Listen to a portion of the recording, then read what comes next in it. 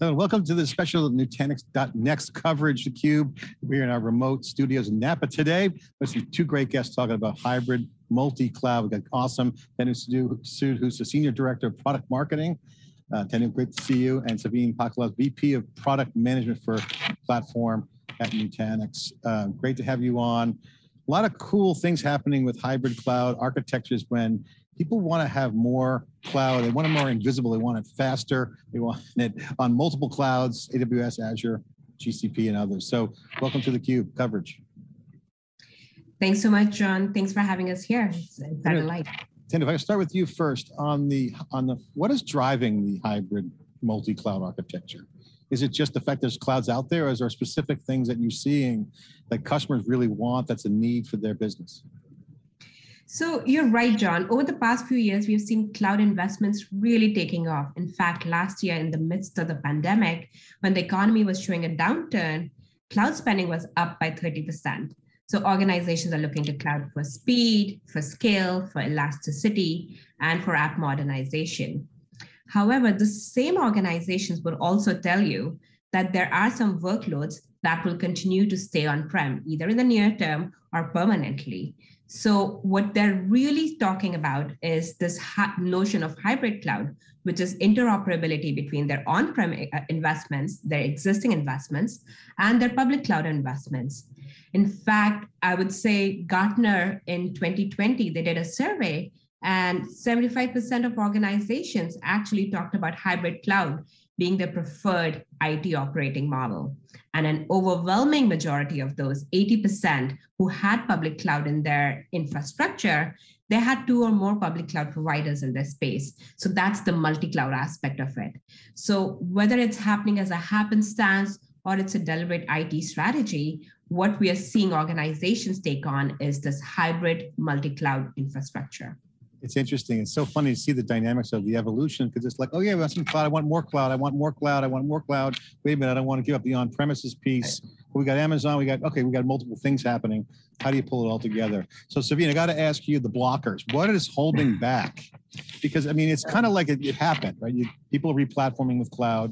They're not giving up their data centers and/or the on-premises component what's the blocker? Is it inertia? Is yeah. it time? Is it evolution? Is it skills? What's the what's holding everyone back? Yeah, you know, uh, John, over the last several months, quarters, what we have seen is that there are four typical issues that sort of come up when customers start to look at their hybrid multi-cloud journey. The first one is how do I move my on-prem applications workloads to public cloud? Do I need to refactor the applications as I do that? How do I move that application from one cloud to the other and potentially move it back to the data center? And because the underlying platform are disparate between these different destinations, it's usually very challenging. The next question then you come up with is, hey, after I move the application to the public cloud, what about management, right? It's going to be different. It's, it has its own island of infrastructure. The management tooling is different. The skill sets required are different. Processes are different. So that becomes another challenge. Then comes the service levels. I still, I'm still responsible for all the service levels from a backup perspective, DR, security, performance that you know I was responsible for on-prem. I'm still responsible for those in the public cloud. And then lastly, I would say, you know, customers want to know that their investment is protected, right? As they move the workloads all around, they want to know that the licenses will follow them. They can actually take advantage of the licenses they've already procured and not have to procure something new just to run the same workload. So those are some of the challenges that we've seen come up. I mean, it's always good to chat with you guys because I remember covering Nutanix back in 2010. It was kind of a new thing, and everyone got on the same bandwagon, and copied the, the uh, hyper convergence, and it was very went a whole nother level. It seems now there's another inflection point. I want to get your reaction, Tenush. You can you can weigh in. That'd be great too, and get your reaction as well. This whole uh, shift from design thinking which has been great for, for a decade or so. Two, there's a whole nother kind of conversation around system thinking. And systems thinking is about platforms and it's about out, outcomes. But now what, what you guys are discussing and, and launching this year at .next is it's a systems concept. It's distributed computing. This is kind of a new kind of mindset. How do you guys see that evolving in the customer base? And how do you talk about that? Because this is something that is coming up, kind of like that design thinking mantra. It's like systems thinking. Think about the impacts. Could you guys weigh in on your reaction to that? Sure, yeah. So, you know, when you look at uh, the systems level problem, right, it's really that of having the same platform, you know, be available at, at multiple locations wherever you want to run your workloads. That's sort of the underpinning or the foundation, if you will, of your system. And we've done, done just that with clusters. We have basically taken our hyperconverged infrastructure stack plus the hypervisor plus the management stack, you know, that was running on-prem, and we have essentially made it available on the public cloud, right? So, so that's really uh, the the special thing about that is that it's a single infrastructure and single management plane across your private cloud and your public cloud, which really helps organizations to accelerate their hybrid cloud journey. And then what's the impact for customers? Because I mean, that's if you have that single layer, it's unified. Yeah, I mean, it's it's uh, you know the problems and the challenges that it just mentioned earlier. Customers will be able to address all of them with by leveraging something like clusters, right? Uh, customers will be able to deploy their workloads on private cloud or public cloud without having to you know have disparate management models, right? They can have a single simple and consistent management model between private cloud and public cloud. They are they will be able to meet the same service levels that they've been able to on premise, whether it's DR, whether it's backup, whether it's security, whether it's performance, and all along knowing that their investment is protected. With Nutanix, as you know, uh, we have license port- portability of all our software licenses between private and public cloud. So these are all the benefits that are, that are very real and uh, you know customers really value when they think about the overall um, problem statement they have at hand. Annie, what's your reaction to systems mindset, system thinking in terms of customers and how they're holistically yeah. looking at hybrid cloud? Yeah, so John, as you talked about, right, we started from a place of making infrastructure invisible, just taking away that complexity of infrastructure. And now we have evolved it to the next level where we're, we're really making clouds invisible. This whole idea of you could be sitting on any cloud, you could be private cloud, it could be any public cloud or multiple public clouds. You don't have to worry about the complexity. There's the software layer, layer that's sitting on top of that that's really making that underlying layer um, invisible to you so that you can just get about doing your job. It's all about business outcome at the end of the day. By the way, I love the invisible mindset because that's also like, that's what DevOps infrastructure as code was supposed to be. Make things invisible, make them programmable. And you got C serverless and functions coming out. People are really getting excited by the ease of uh, ability to just provision resources. This is a major wave that's going to have a major impact to enterprises how is this specifically impacting this hybrid cloud architecture? What do you guys do to make that invisible? Because customers are all like, no one's denying it's happening. They know, like, okay, we know it's happening, like, but they don't know what to do. They're like, how do I start? Who do I hire? What do I change? What do I automate? These are questions. How do you guys see that? Yeah, look, I think customers routinely tell us that, hey, ultimately, I invest a lot in really making my enterprise IT repeatable uh, reliable and predictable, right? So after they've invested in the process, the tooling, the people, uh, they want to be able to leverage that regardless of you know where the IT direction takes them. Uh, when it comes to public cloud, uh, they want to be able to take the same investment that they've made and be able to leverage that and capitalize that on the public cloud.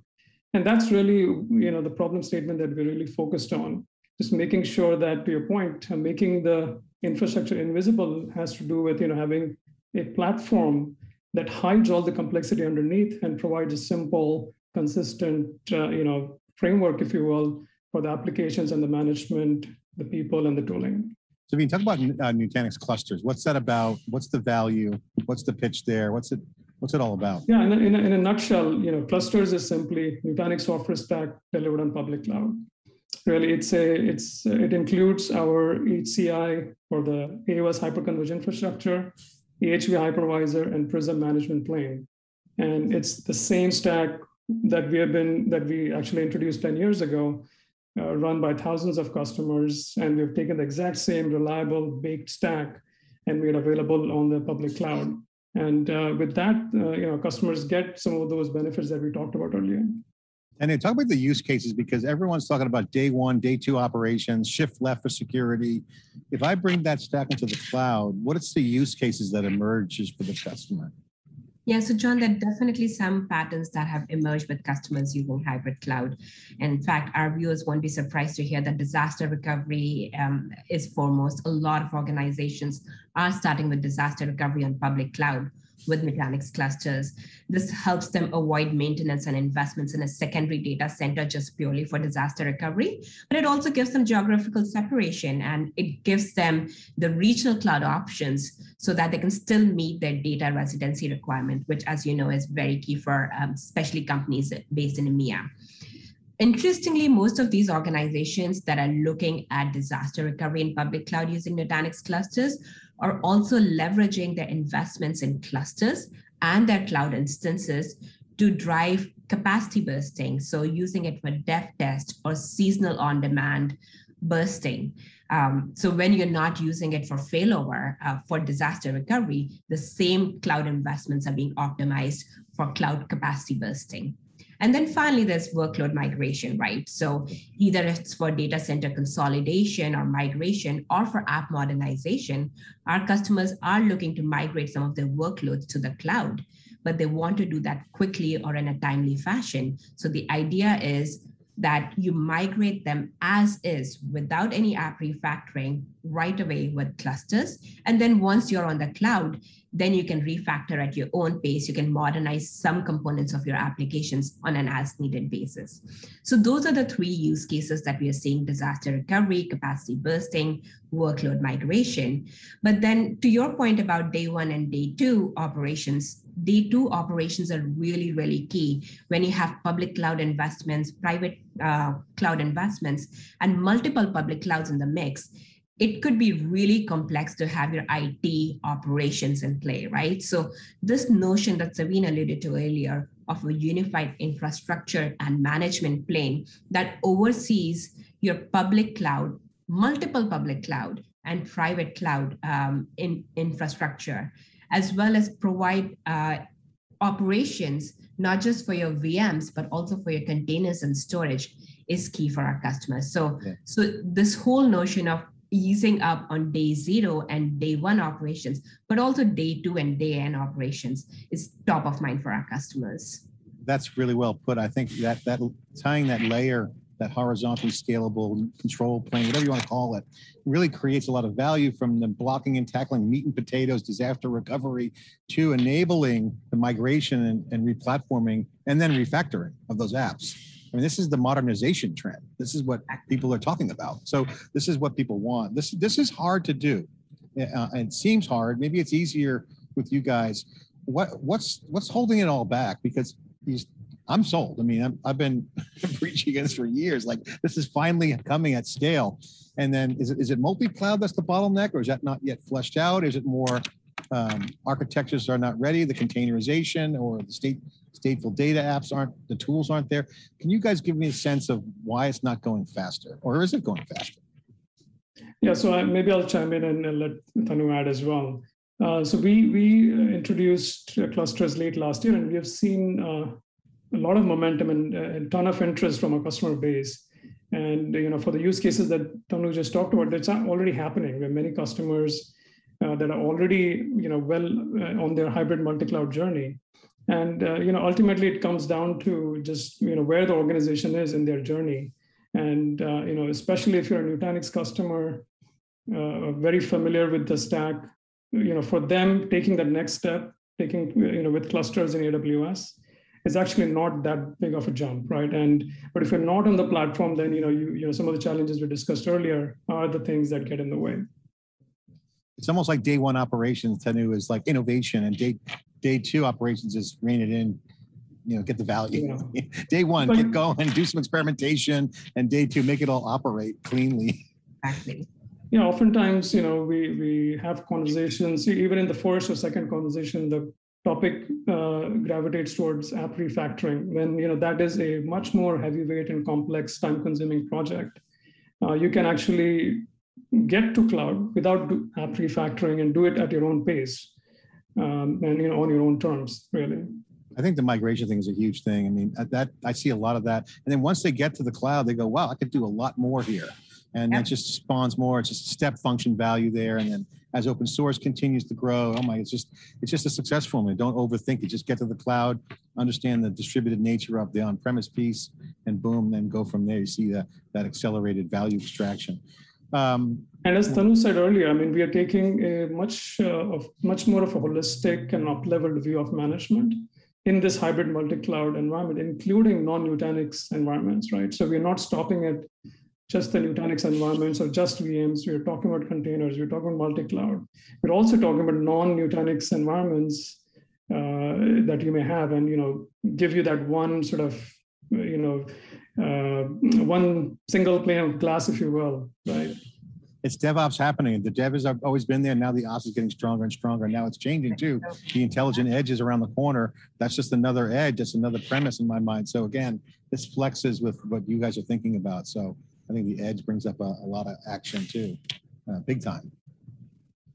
Um, exciting news. Exciting. Let's get into the news. So you guys have some exciting news. Um, talk about what's new, what's the big stories, what's breaking, what's exciting, what's the top stories coming this year. Sure, sure. So since we uh, launched clusters late, late last year on AWS, we have focused on a couple of things. One is expanding the availability, right? So we have added multiple regions. Now the total number of regions, uh, AWS regions that we support is 23. We also recently added support for AWS GovCloud for our US federal customers. And we have FedRAMP moderate authorization, so that's which is very key for that customer base. Uh, we've also added some really new and exciting capabilities such as Elastic DR, some of that uh, Tanu already mentioned, Hibernate and Resume, which is a very unique capability from clusters where you can hibernate entire clusters and you know give up all the bare metal nodes of compute, but still have your data intact in S3, just so you can resume it very quickly whenever the need arises again. Um, and you know, last but not the least, we are super excited about bringing clusters to Microsoft Azure. Uh, this has been a long and strong partnership with Microsoft. And as uh, you heard in the keynote, uh, we are actually starting the preview at this event and uh, you know opening up to the customers so that they can get that firsthand feel for the product and, and work with us in bringing the product to GA. Multi-cloud John- world. Oh, sorry, Dan, go ahead. No, so this is exactly what I was going to say. This is multi-cloud coming to bear, right? So we talked about hybrid cloud, and now here we are with multi-cloud options for you. What's interesting is, is that everyone always, you know, as the trends change, you know, this is changing, that company's shifting, and you guys have evolved beautifully. And I think the, the way people are leveraging cloud really shows their strengths. Everyone, the cloud actually highlights the strengths. If if you play it properly, you can survive. I mean, look at Snowflake; they don't even have a cloud; they're a data cloud now. So, you know, if you bring, if customers can bring their uh, their architecture to the cloud, they can actually do a lot of re re-architecting and re-changing and modernizing their business. This is something that's kind of only in the past few years that's come up. This is quite a big trend.